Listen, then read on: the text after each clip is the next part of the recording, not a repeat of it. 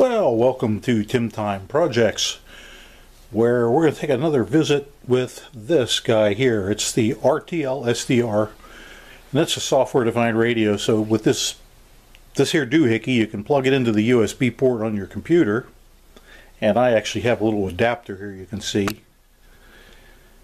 because uh, I didn't want that sticking out of the front of my computer or the side of it on a laptop. This is the version 3. Let's see if it says it on here. I think it says it on this side. That'll be upside down to you and me, but right there, this is the V3. I believe it's kind of outdated, but it still works pretty good for what I use it for. Uh, you'll notice on the other end here, I have an adapter.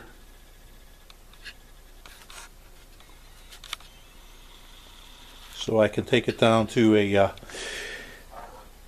a coax cable like for a CB or ham radio that's a uh, SO239 is the end, and if it's a PL259 connector like you see on the on the radio uh, antennas. Now you can get these adapters to fit just about any type of ending, so don't worry about that. And of course you get them from Amazon, where else? Uh, and, and that's going to be kind of a necessity, and I'll show you why. I'm just going to demonstrate a couple of antennas, and we'll see what we come up with. At the tone, one hour, two minutes. Coordinated Universal Time.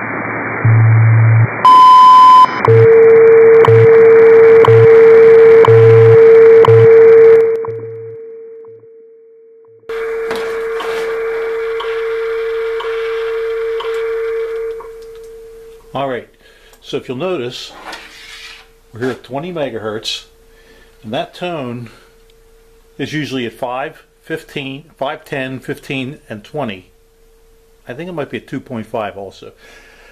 If you live in Canada or North America, closer to Canada, there's one at I think it's 335 or something, 3.35 megahertz, which might be easier for you to tune. That's always a good thing to check. But before you do any of that, you got to make sure that, let's see, we're still looking, you stop your trace, you come to the little gear here, right next to the trace, click that, and that'll open this window right here. And you want to make sure that where it says sampling mode, that you're in Q branch. If you choose one of the others, like quadrature sampling, which usually works pretty good for the uh, higher bands, just leave that, watch what we get.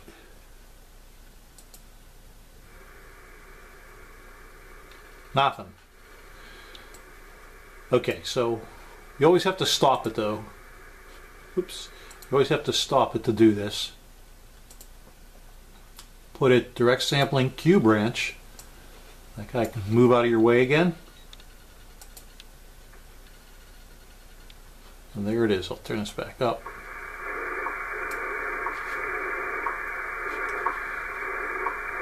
All right. There is a 20.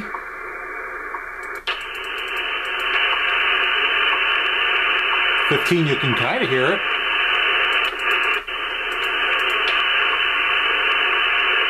Ten hardly at all.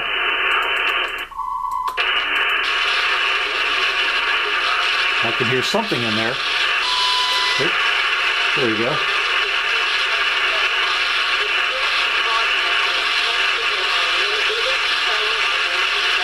All right, when they give the time, the little time announcement, the man's voice is Colorado, and I believe it's Colorado, and the woman's voice is Hawaii. So you may hear both a man and a woman recording in there, and they're offset enough that uh, if conditions are fine, you'll be able to hear them both. But just give you an idea. All right, but the main thing we want to look at is what am I using for an antenna? So let's go back to the strongest signal which we had, which was what a 20.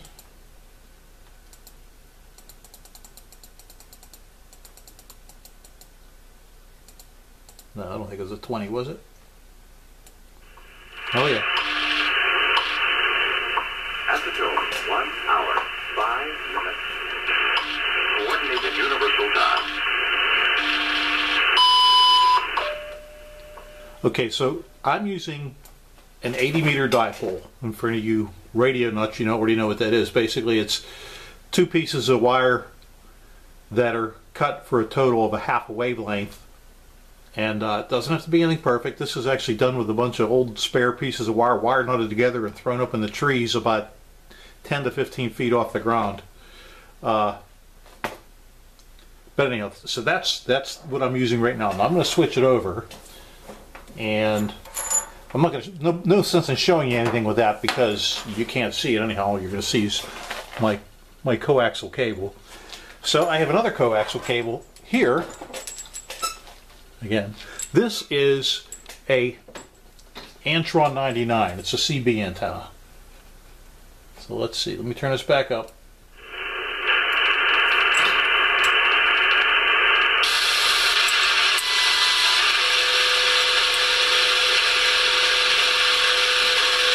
Yeah, it works pretty good. So that's the Antron 99. Let's get on and check some of the other bands. There's 10. Eh, it's a little quieter. Oh, don't want to do that. Ah. 5 can't hear anything at all. And we'll look at 15. Oh, 15 sounds pretty good. Okay. So my point being there is that just about anything that's outside that works as an antenna can work pretty good for you. So let's see, we have some other things to try. So here is, here's similar to the antenna that uh, if you bought the antenna kit with these you'll get, and at best it would look something like this. This is not it, but this is actually a much better antenna. So let's try that. Well, you'll see that I'm going to show you when I disconnect the antenna. You get nothing, so I always tell people you got to have something on there. That's with no antenna. You get nothing. So here goes the uh, the antenna that comes with the kit. All right. I'm going to try and show you how it. So this works slightly better than no antenna. So if you were trying to do something with the antenna that came with the kit, don't waste your time.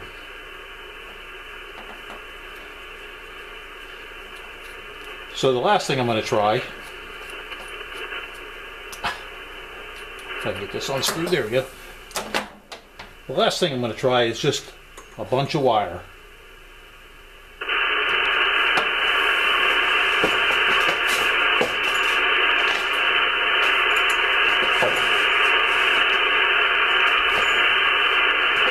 We're getting a bunch of noise.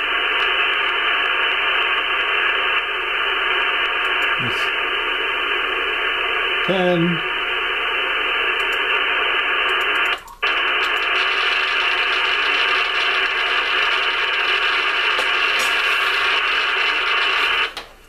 Okay.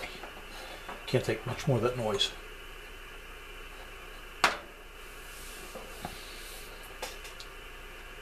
Uh, so that is just using a bunch of wire throughout the house, basically hooking to some pipes and stuff in the house.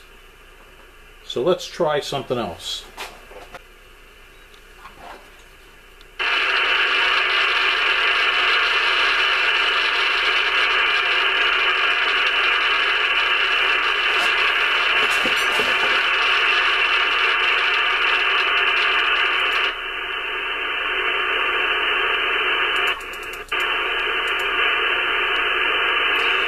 All right, at 10 megahertz, you can almost hear it.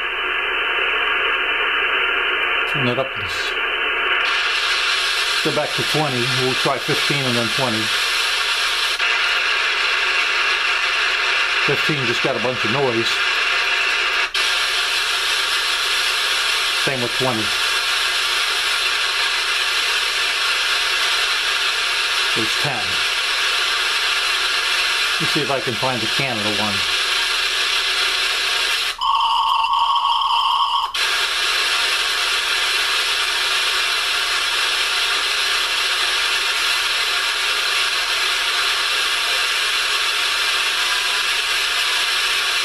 Here it is. Okay. So at least we're getting something.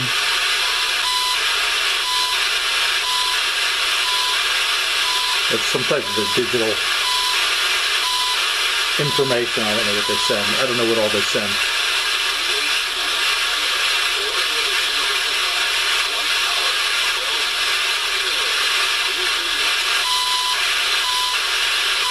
Think they do it both English and French.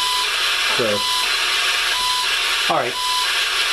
Now, to take the big mystery out of the high dollar thing that I came up with. Let me turn this on.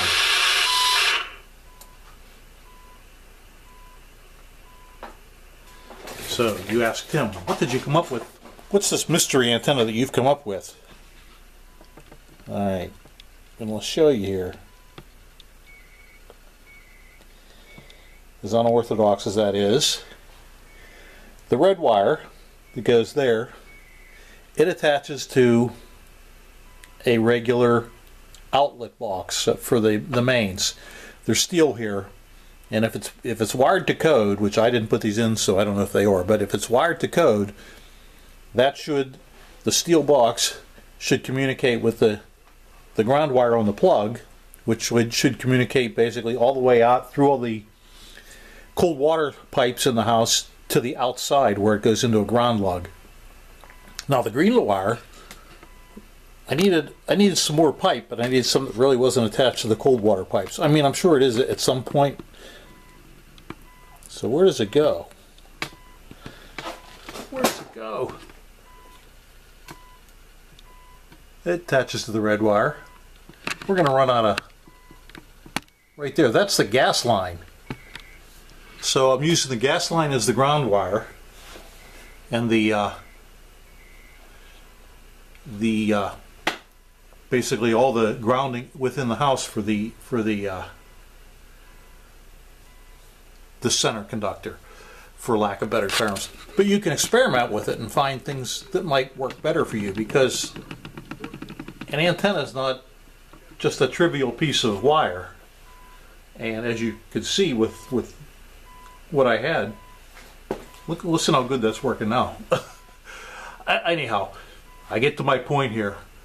Antenna is the name of the game. Make sure you have your settings right and you're ready to go.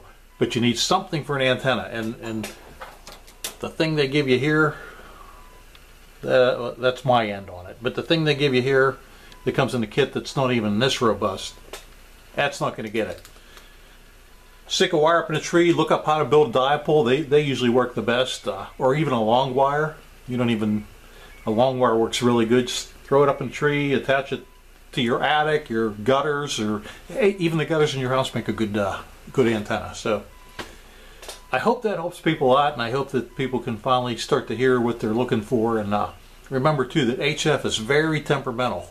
Uh, there's times of the day when you won't hear anything on HF and then also having to do with sunspots. Uh, whenever we have these these uh, uh, coronal mass ejections, or basically like a sunstorm, it kills everything on HF. You won't hear anything. So don't write HF off. You might have listened at the wrong time. Good antenna. Make sure you're set up right. Good antenna, and try try the uh, looking for the um, the antenna, or for, yeah, the, try looking for the uh, coordinated universal time in both uh, United States and Canada. Uh, for other countries, I don't know what you use, but uh, you know it, it's it's in the HF band, so I'm sure you can receive them at, at some point. A couple other things I'll throw in there is uh, if you have your squelch clicked, make sure you don't have your squelch turned up so loud or so high that you're not hearing anything. You want to keep your squelch especially for HF. If you want to keep your squelch, I would recommend turning it off. Uh, but, you know, that, and de depending on what you're, depending on what kind of system you're using too, look here at your RF gain. You'll want to keep that down at a minimum. If you have it turned up, uh, turned up too loud, it brings the whole noise floor up. So you, you kind of make sure you check that. Put it where you like it, but uh, if you get too high, and I'll show you. Usually when you choose this quadrature sampling, it's blanked out. So if you go back to, uh, or Q branch sampling rather, if you go to quadrature sampling, it's there. And just watch when I turn it on, watch what it does to your, to your noise floor. Well, not, not so much on this band, but if I bring it up to, see your noise floor?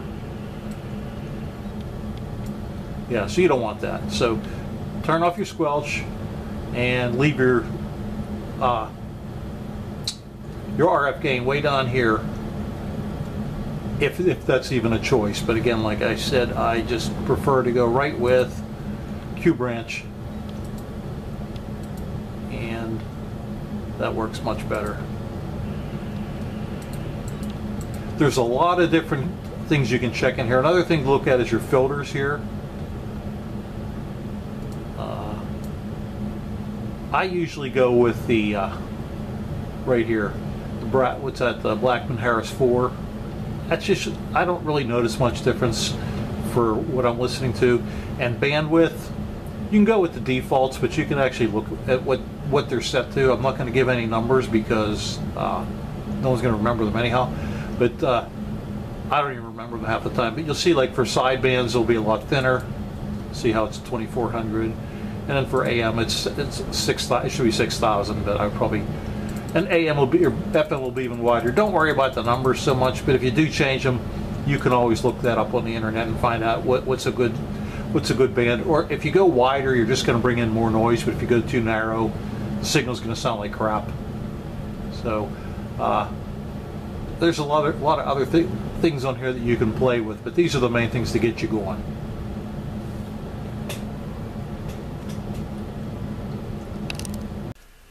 So hey, thanks for watching, and I hope this helps you out.